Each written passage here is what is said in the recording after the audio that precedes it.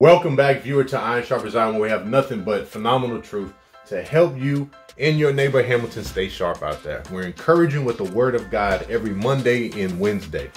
Today's video is going to be a new series we want to start called Bad Day, Good God. The whole point of this video is to remind you, even when you have a bad day, your day is bad, God is still good. Second Corinthians 4, verses 8 and 9. We are troubled on every side, yet not distressed. We are perplexed, but not in despair.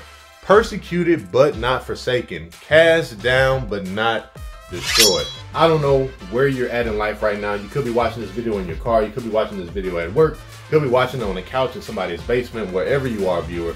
And you believe, you are convinced that the world is against you.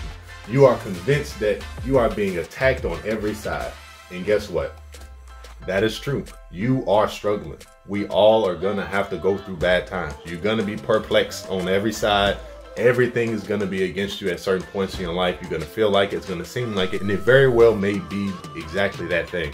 But reading this verse, God is trying to give you the confidence knowing that, hey, you're persecuted but not forsaken. You are cast down but not destroyed. Life is overwhelming right now. I have a lot of things on my plate. And regardless of what's happening, you're perplexed, you're going through all this stuff, you're uh gonna have a panic attack. Persecuted, but not forsaken. Cast down, but not destroyed. Be encouraged today, viewer. Go tackle today's obstacle. The only thing that's gonna stop you is you. There's no such thing as a bad day, only bad moments.